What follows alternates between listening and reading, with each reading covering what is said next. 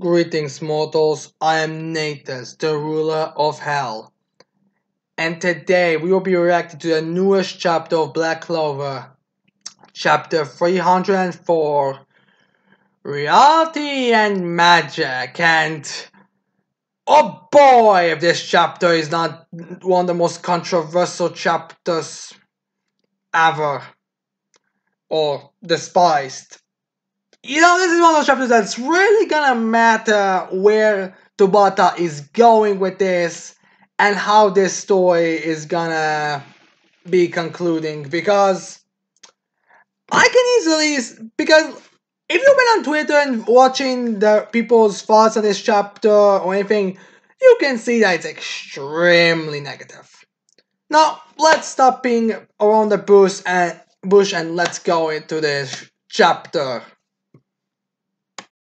So we start this chapter off with the remaining soldier, demon soldiers or whatever they are that Magica was using, falling, uh, going back to their human bodies, which is surprising since I thought Magica's soldiers were supposed to be like just figuratively there, like their souls, not their actual bodies. These there, but apparently they were, and we see them falling to the ground. As we um see a bunch of them. Like, we don't see much of a good focus, just a bunch of random corpses, basically. As, which is honestly supposed they're still even odd, because this entire battle, they've been getting slaughtered pretty easily. I mean, you're filled with holes and slaughtered, so I'm kind of surprised that they're still around. I mean, I guess it was a hundred, so I guess a couple of them staying would make sense. So, yeah. Now we get to see, uh, Lopachica, we see her curse mark come fully disappearing. With some people, which some people actually are saying that is Magic actually dead because the curse mark completely disappeared? Eh, I feel like there might be a difference on curses in that department, if I'm being totally honest. Like, I could see it be something like, it depends on how long, or is it, how extreme was it? Because curses like Henry and Charlotte's, those are more like long-term curses. Like those then like like those would lead to death, but you could survive with them. Like Henry can live, it's just he'll be a nuisance to the world. Charlotte would have survived, could have survived them, but she would always have it. So yeah. So we see the curses appearing, which by the way we have a bit of nudity from Lopachica. So yeah, my theory about every Vanica Noel and Lopachica being completely naked right now was true. Where did you know? I get how how Vanica's clothes got destroyed, and I get how Noel's clothes got destroyed, but I don't get how uh, clothes got destroyed. Like those black things just look go to on top of your body, and I know it wasn't shown her clothes afterwards, but how did they get destroyed, really? It's like a weird thing. So we have us to be like, Noel, you did it! As we see Lopachica gain conscious and us like, ah, Queen Lopachica, you awake, your majesty! So but like, he's so formal with her. And we see Lopachica waking, have her look at herself, see that she's naked, as he look also realize it. Ooh, oops. As he, uh, Lopachica going uh, being flustered and you know be like i'm sorry i'm sorry i'm naked i'm sorry. As we see us looking up at him getting basically the nosebleeds be like be like nope. And i was like haha have no fe- fear i didn't see a thing. Which might actually be true. I think he, it looks like he's actually staring at her head and then he looks at her expression and he just now realized that she's actually naked. So you might actually not see it. And then we see Noah punching him in the air and she's like, Nothing I did, did nothing. Which is true technically. And Noah's like, What are you doing, Dorkstar? So I guess, in case if anyone was expecting Noah not to be a tsundere, nope, she's still gonna be a tsundere. And then we see uh, Lo Noel in this like water dress. Surprising it covers anything, honestly hugging uh, Lopachica as she's also naked. And they're basically like happy. And then we see Odin be like in a chibi form, like Odin used up all her power, which is the explanation. And we see also Odin be like, Lope Chica! And they say, Noel, Lope Chica, I'm so glad you're alive. And Lope Chica's reaction is like, Noel, Odin. And so Asta being like, what was that for Noel? And so Noel be like, shut up, Dogster, you're the one who...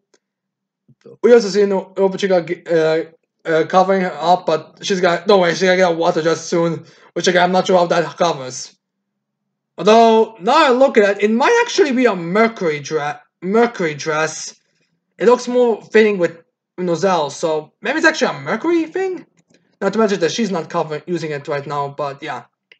So we have Noel turning away, and I was like, huh?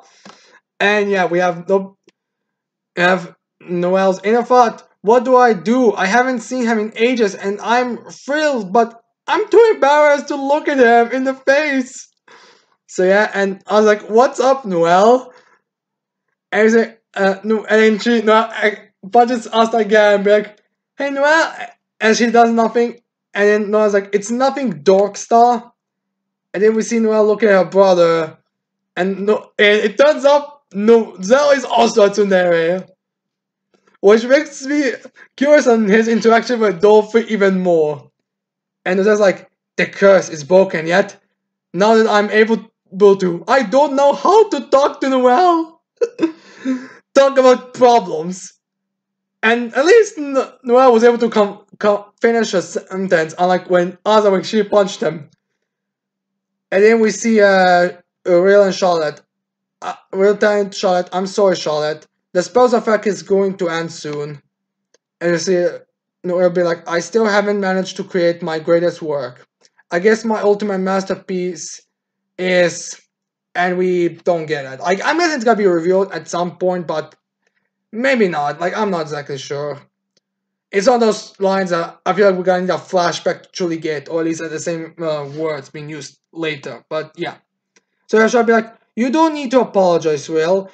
You made it possible for me to fight. I'm grateful to you. Besides, we can't afford to die yet. Am I wrong? So yeah, pretty confident. We'll get into it when we when the moment comes. And then we see Lope Chica. Again, I'm pretty sure that's supposed to be Mercury. Be like Gadjah.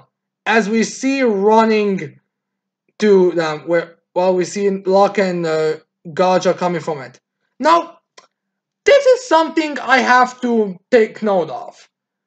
If I recall correctly, I might need to go back to check, but the last time we see seen Vanica, because she doesn't appear in this chapter, it's apparently like semi-mentioned by not later. We see Vanica, like we see this gateway, this hole with like a bunch of destruction, and like the one that Gadjah used to finish up, where he wanted to give his life to finish off Magicula. But we do not see Vanica anywhere. And I'm pretty sure the last time we seen her was like right outside of that blast. So where is she in this panel? Like, she is not mentioned at all. Like, maybe there was some panel cutting or something where there was supposed to be a panel of like Gadjah staring over Vanica and then like blasting her but it doesn't seem like there was any extra damage to, that would signify that. And we know that she didn't die in that assault because then Magicka would become stronger and there's no pl plot twist this chapter that Magicka comes back. So where is she?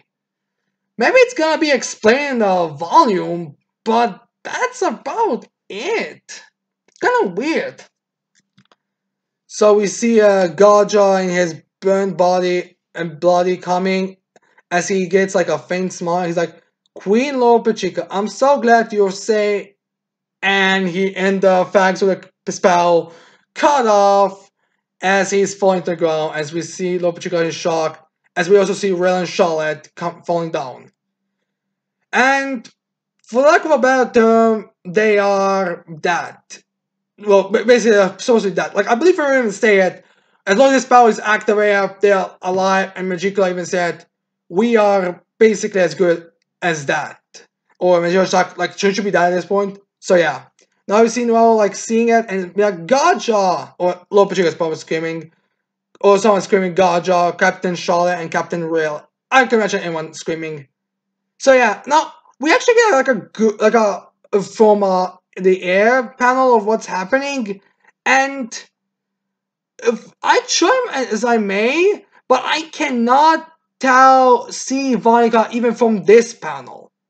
Like I see a bunch of soldiers who wear like seem to be wearing black pants. That's and since Vanica should be naked at this point, b- but we see a bunch of them, but we don't see like anything that would like fit Vanica's appearance or like in the area.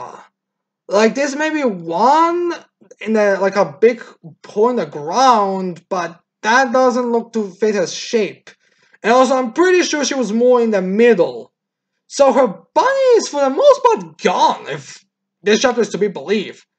Maybe an artist's error, it's probably gonna be revealed soon. In fact, I wouldn't be surprised if in a couple of days we actually gonna get it revealed, but there's no comment. Although I need to go back to see how quickly people these problems are actually noticed. But yeah, now we see. Now we see uh, Lopajika make it using a spell she had, What do you call recovery magic, Aquina lore. And we see her desperately trying to heal them, but it's of no use. We see her filled with tears, like, my magic can't heal wounds like that. No, they saved me, but I, I. I mean, which is very emotional. Like, this is like, ignoring the end, this is like a very good, like, this is like done really well, in all honesty. And they was also like, Demon Destroyer can't do a thing about injuries, which is true. And we see one be like, damn it, isn't there anything we can do? I'm guessing it's Asta. And then, you know, I was like, this can't be happening they did the right thing. They worked so hard. We can't just let them die like this.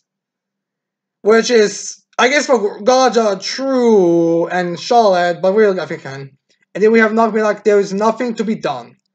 We defeated a, and we see not be like, we defeated a Supreme Devil. We should be content with that. It says like, Vice Captain Nog. As we see Nog, the narration. But not everyone's who's right is necessarily rewarded for it. It's that's reality. Although I did what want to them to be rewarded. So I guess this is going back into Nog's viewpoint where he's like, not anyone who does right will be always rewarded, but I would like them to be rewarded. So yeah, now Nog's like, hey, and Nog's like, oh yes, I bought the one you said, but to bring, but it's too. As we see, uh, Noah be like, no, as we see um, Mimosa in her new magic. Mimosa can do it! Now this is another thing that people mention that it seems like uh, Mimosa has a four-leaf clover grimoire in this one. Oh, by the way, she's probably also naked, just covered by roses. Because apparently, water and flowers destroy clothes in this universe. Oh yeah, but anyways, people mentioned how it looks like Mimosa is having a four-leaf clover grimoire in this scene, which is possible, but I don't know. I think it's just one of those manga color things where it's kind of harder to tell. And we see Mimosa be like, I am not letting anyone die. And we, we see uh, her using ultimate plant magic, Flower Princess Utopia. And we see them being healed, and I'll be like, this recovery spell, it's as we see Gadjah being healed, and we see now be like, well, just overrule reality after all. Some people are saying this is. Some people are saying this is um Tabata like trolling the fans with this statement, like literally everything with magic can be overruled. And that's like a bit of a problem, which again, we get in this into the end of the chapter because I feel like the end of the chapter also kind of fits into this discussion. But yeah, basically everything that they do now can be overruled with magic. And then we see that's what magic does, right? Which could also say, I also like to mention that some people like to use the whole it's magic so we don't have to explain it. Where there seems like they're actively making a joke at this. And you see uh, Lord Pachica be happy and be and and uh also be like, real Captain Charlotte, thank goodness. Mimosa, that was so cool. As we see a happy Mimosa. And then we see Lord Pachica bowing again. All that for somebody like me. I'm sorry, I'm sorry. And then we have, I've got to be like, be like, please stop. It was no more than my duty as a spirit guardian. And we see Noah be like, don't you people have anything else to say? Uh, yeah. And now the shippers are gonna go crazy, and we are going to have Gotcha be like, I guess thinking, alright, I guess I'm sad. It's like, I love you. And we see everyone's shocked. Um, which I guess means that no, if, which I guess is the reaction of fan. They'll be like, "Oh my god, someone in love with a character is actually gonna say, oh, I love you,' and Black Clover. What? And it's not some crazy psychopath. Look at you, Sunny and Vanica, wherever Vanica is. And yeah, these are faces are like funny. And got to being like, not as my queen, but as a woman. What I feel for you is as we see Novichok get like super flustered, like poof. And we see Noah be like, what? Wait, what? Wait, Gacha? And we see Noah be like, ah. And said Gacha be like, did I say something wrong? Uh, no, you just the only one who didn't say what everyone was thinking. Well, Dolph, I guess, is not there, so I guess it know, I wasn't thinking of love. Well, I, outside of a relationship, inside of a brother sister love, but that's beside the point. As we see Chibi and Odin be like, Lolo Chica is mine, but it's you, Gadjah, then. Well, I guess the mother is on board with you. And then we see Nozel um, looking around, be like, oh, at this, and he's like, it's irritating, but I suppose it's thanks to him that Noel grew strong. We have to save Yami, no matter what. Which also is actually starting making a meme. People saying like, does everyone forget about vengeance? Which to me, I feel like it's more like people are more connected to Yami because of the characters. Like they have no re- like Nozawa has no reason to say, I guess I should thank you. Uh, yeah, no, vengeance that we must save vengeance because he was focused on Noel and he has no real strong opinion on Mimosa. Like I think he doesn't even know her name in all honesty. And then we have Nox's inner thoughts being like, it appears they've grown far stronger than I dreamed they would. Now there's just one Dark Triad member left. The last one is. That's what I was talking about. That's like the closest thing we are gonna get to acknowledging Vanica in this chapter. Duh. So do, so we can't even use the fact that God maybe uh be Tabata completely forgot about uh, the Dr. Vanica. Like he openly openly knows. So now we have some times jump like we already had this arc with, the Nox attack and the uh, Squad. Like shortly before Magicula's defeat, as we see the throne room where Yuno and Nozel Langris were fighting, and then we see like this pretty badass shot of Nozel, well, Zenon being like, "We are only wasting time. I'll end this." See Langris being like, "Curses! What do we do now?" Like, see him like Langris. Buy me three minutes. I'll finish him with my next attack. So, let's see. Where do we begin with this chapter after this? Alright, let's get through with this part. What could no longer this battle? This battle, I feel like will probably last only three to two chap two to three chapters, honestly. Like, how will Langris be able to defend against this? Since, you know, Langris was apparently not even anything able to do against Zenon before the 100% power up. Maybe someone will show up, either Patri or the Black Bulls who failed to save Yami. I feel like one of them are the most likely. I could even see both. We'll see in the next two to three chapters. And what this attack could be, probably like some ultimate spell that takes them completely out of this form, I would say, since this form doesn't have a time limit from what we know. And I feel like this will lead into like, let's say a battle where, like, I mean, what ha is happening with the Hills now is gonna go back to, oh, it's already finished. Like, I could say like, all we have to do now is uh, defeat Zenon, and that's it. So, and then like we, oh, it's already over. So, now let's talk about the elephant in the room. No one died. Now, I'm not sure if I explained this in the last chapter, but I honestly have no problem with Gadjah, Rael, and Charlotte surviving.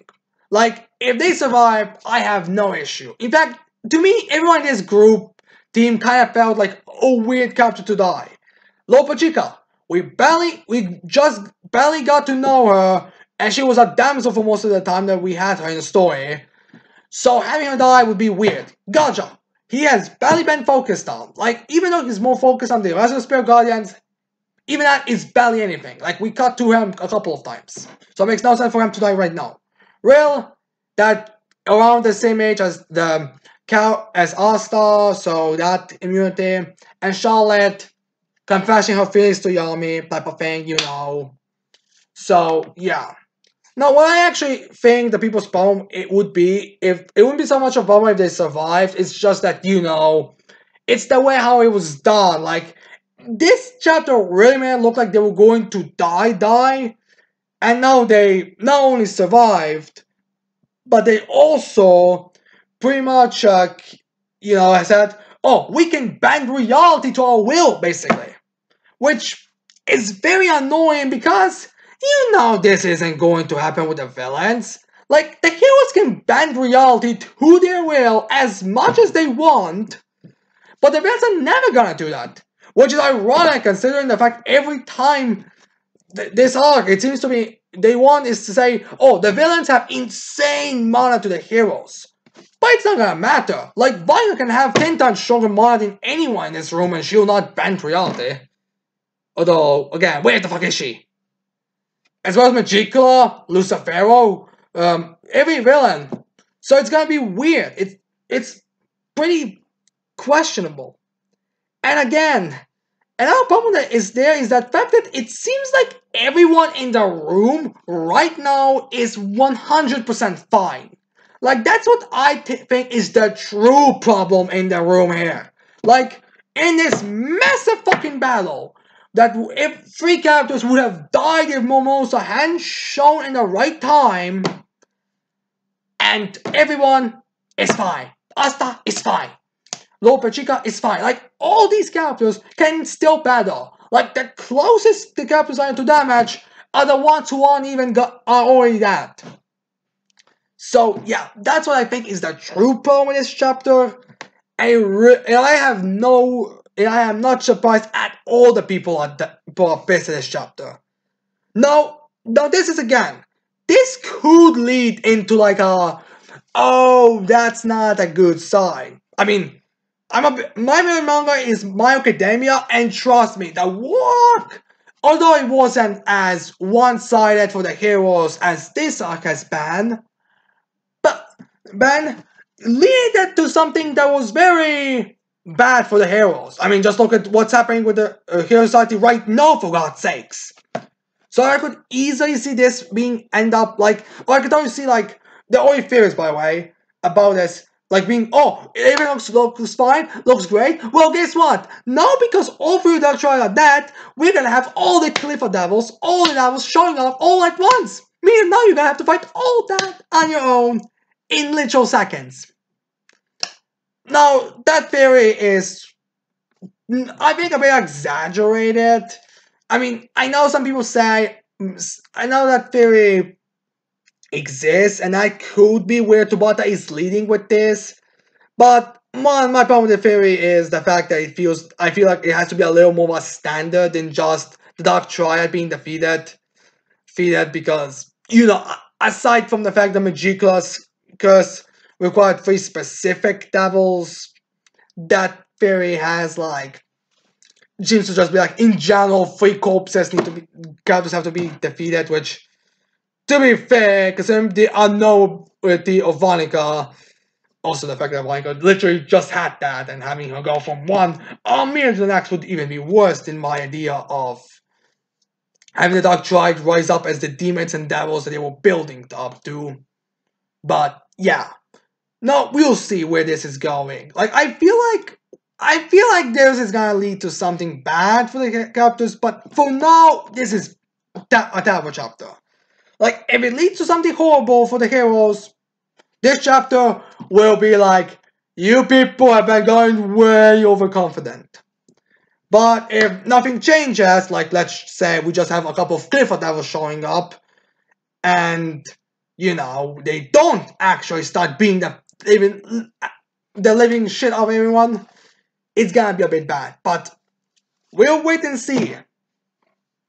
So anyway, these are my thoughts on the chapter and what I think is gonna happen next. You tell me in the comments below what do you think? Do you think this is a little bit of too much or alright, too much plot immunity on the heroes or the better way to say it, power tripping for heroes. Uh, what do, do you think about next? What do you think is gonna happen next? Do you think there's that there's gonna be a twist where something extremely bad is going to happen? Tell me in the comments below what do you think, basically, just. So anyways, I hope you like, like this reaction. I hope you leave a like and subscribe to this channel for more videos in the future. And with that said, I cannot wait to see all of you people next time. Goodbye.